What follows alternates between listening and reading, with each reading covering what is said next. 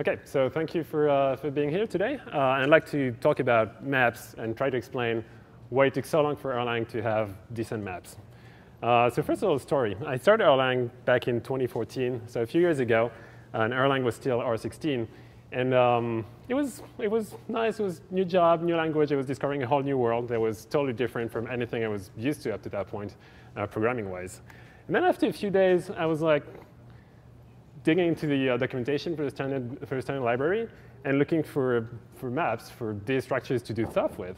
Uh, because when you're designing a web API anything, it's dealing with JSONs, like you, you want maps, JSONs are maps. And so I couldn't find anything. I could find dictionaries, uh, but dictionaries, they're not great. They don't have good performance, they have logarithmic performance, which is not the constant time operations I was used to. And even the documentation advises you against using dictionaries for anything too big or even for anything too small, for that matter, because you're better off with lists if it's small enough. Um, so I was, I was pretty startled by this. So I went to my coworkers and I said, hey, like, what do you, what do you guys for, what do you guys use for maps? Like, wh what should I be using?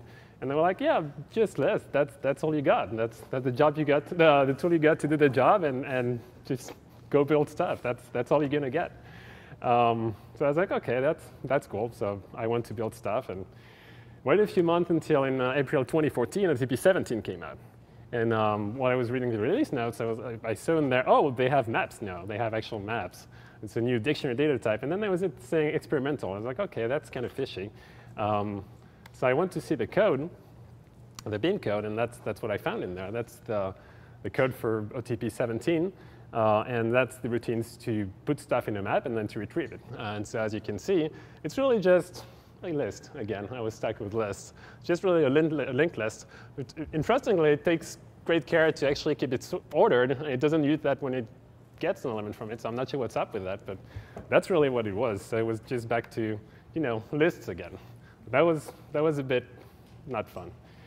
Um, and then a year later, June 2015, OTP 18 came out. And that was, that was the real deal. Um, so they actually had enhanced support for maps, and they were telling us they use HAMTs for that, uh, which you're going to get back to later. Uh, but seriously, 2018, that's, that's really not great. Like when you compare it to other languages, uh, Ruby got, so here when I say maps, I mean like any map-like data structures. So that could be hashes in Ruby or dictionaries in Python or whatever. Ruby got them in 1995, so 20 years before Erlang. Uh, same for Java, PHP. Uh, Python got them two years before that, 1993. And if, you, if we don't restrict ourselves to languages that are still in use today, uh, AWK had maps back in 1977. And MUMPS, which I had not existed before writing this slide, actually exist, uh, had maps in 1966. Uh, um, so maps have been around for like over 50 years. So that really begs the question, what made it so much harder for Erlang to get the same thing that all the guys had? And to, um, to answer the question, uh, we need to take a step back and go look at what pretty much all the other languages uh, use to implement maps. Uh, and so that's hash tables. There's really a lot of ways to implement maps out there. But most languages use hash tables because they're really easy to understand, they're really easy to implement, uh, they're robust, and they're, they're efficient. So that, that's really what's being used in, for Python dictionaries, for Ruby hashes, for PHP arrays, and for C++ on ordered maps, and, and, and so on and so forth. Just a quick reminder, I'm sure, I'm sure a lot of you guys are familiar with this. Uh, but a hash table is really just an array of pointers. Uh, you start with an empty hash table, just an array of null pointers, uh, and then you want to add a new uh, key value pair in there, say foo bar. Um, so what you do is you just hash the key foo with a hashing function. You get uh, an integer out of that. You take the modulo of that integer by the length of your array. For example, you get four here, and that tells you, OK, I'm going to put this um, pair in, the, in position four of my array, and you just end up with a linked list with that node containing your data. And you just repeat the same if you want to insert new uh, data pairs. And you end up something like this. Uh, and then when you want to uh, look up a given key, you do the exact same. Uh, you apply the same hashing function, hopefully get the same hash. And so that tells you, OK, if, if this key is in your table, it should be in the linked list rooted in position 4. And so you just go to position, position 4 uh, iterate through until you hit either the end of the list or a node that has the same key. In this case, we find the key, and so we know that the value associated is LMN. So that's, um, that's really all we need to know for the concept of this talk about hash tables. That's all, all, but that's what all the other languages use, and we want to understand why we couldn't do that with Erlang. Um, so let's imagine that Erlang maps are backed with hash tables too. So very simple Erlang code. We have a first map, a couple of key value pairs, and we just add a new one uh, to form a second map. And so we have something in memory that, end up, that ends up looking something like this, right? And then the trouble happens when we do this. We want to get the foo key in map one. As we all know, Erlang, Erlang variables are immutable, so foo should not be in map one. The problem is the hash table we've been using has no idea who owns what and which key pairs belongs to which Erlang map. And so that is not going to work. And so the problem here is really to have a data structure that supports what we want, so the four operations that we want in constant time, and at the same time gives the Erlang developer the illusion that everything is immutable. Uh, and to do that, uh, to fake immutability, the Erlang core developers use uh, this data structure called uh, HAMTs. So HAMTs were designed by a researcher named uh, Phil Bagwell, who was a researcher at the um, Federal University in, in, Lausanne, Switzerland. And he described HAMTs in two uh, pretty important landmark research papers that you can go read at these URLs. Uh, and as you can see, it's, I mean, it's not super recent, but it's fairly recent compared to when other languages got maps. Um, so yeah, it would be hard, it would have been hard before that to give maps to Erlang, so we would have to use something else. So let's try and understand what HAMTs are and how they work. So HAMTs at their core are really just prefix trees. Uh, yeah, prefix trees. So a prefix tree, an empty prefix tree is just a root node with no data in it. And to exemplify how it works, you're just going to use it to store English words. So we want to, um, to add this um, key value pair to the prefix tree, bear foo. And the way, the way that this works, we just consider one character from the key at a time. So we start from the root, and we look for a subtree corresponding to the letter B, which of course doesn't exist because the tree is empty for now. So we just create uh, a first node which contains bear foo, and we're done. Cool. Uh, then we want to insert a new pair, bar baz, and same again, we start from the root. We consider the first character in the key, which is a B. Uh, we find the subtree for that key. This time it exists. It's a single node containing the data pair we had, uh, we had before. So we just remove the data pair and break apart the node. Um, so we remember we need to save bear foo again later. And starting from this new node, we look for the subtree for the letter A. Of course, it doesn't exist, so same as before we created. And then we do the same again for there. And we end up with something like this. Um, so we can repeat that as much as we want. And if we add to the previous tree these three new pairs, we end up with something like this. And how do we search? Same thing. Uh, if we want to look for bar, we start from the root um, get the subtree for B, and then from there get the subtree for A, and then from there for R. And we end up there, we've exhausted the key, so we just have to check if there's a value in there. There is, so we found the value, and we're good. Um, basically, the other two cases you can encounter is you get to a leaf, and there's no subtree, but the value in there is actually the key you're looking for. You're good too. And the last case is, oh, you get to a leaf, and there's no subtree for the letter you're looking for, in, the, in which case you know the key is not in the tree. Um, and that's really it for, for prefix trees. That's really how they work. Um, so let's look at how good that is. So in practice, in the Erlang VM, we don't store English words, right? Uh, so the keys the Erlang VM uses are just 32-bit hashes, pretty much the same as for hash tables before uh, of the Erlang term used as, used as a key. And it uses not one character, as, you've been, as we've been doing in the example, but uses five bits of that 32-bit key for each level in the tree. So we know that this tree is going to be at most seven uh, levels high. Uh, and so we know that whenever we do a, a, get or an insert, or same for deletes or, or updates, we're going to be doing at least eight node operations seven to go down the tree, and then maybe one to break up an existing node or, or roll back uh, a node that we're deleting. That's cool. We have a really good bound on how many operations we're going to be doing and how, many, how much time that's going to take. Um, as far as space goes, it's a little more involved because, yeah, if your tree is really not nice, you can end up with a lot of nodes, uh, 2 to the n, uh, for n data pairs. But if your hashing function is reasonable, meaning that it actually distributes values pretty evenly over the course, uh, over the, the space image, uh, then Phil Bagwell has shown in his paper that uh, you can expect to have a number of nodes that's really close to n. It's n time log log n.